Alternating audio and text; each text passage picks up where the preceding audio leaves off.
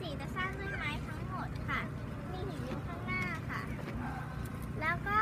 จะสร้างมาได้ 400 ปีแล้วค่ะ โอเคสีสวยยังไง เดี๋ยวดูก่อนนะคะ นี่เขาบอกว่า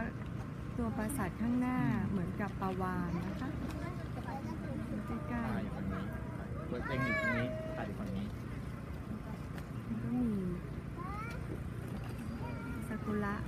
เยอะมากเลยค่ะ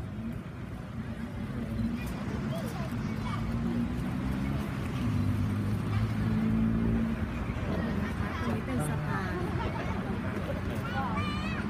สะพานข้ามไปยังตัวปราสาท About five minutes. Thank you so much.